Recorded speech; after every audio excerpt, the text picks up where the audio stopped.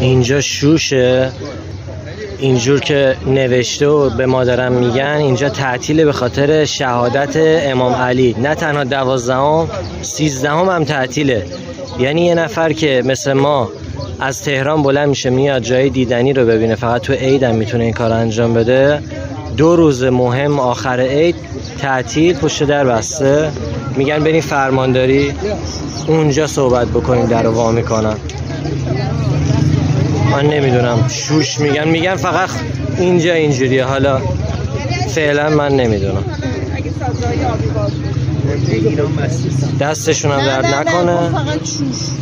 این عزیزان میگن بس من نمای دور جایی که می‌خواستیم واردش بشیم نشون بدم. اقامتگاه داریوش بزرگه.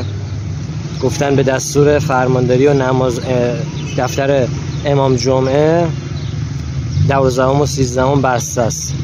گفتن اعتراضی داریم بلنشیم بریم در فرمانداری. ما مسافریم بریم فرمانداری. چونه بزنیم که جایی که برای ما رو درش رو برمون باز بکنم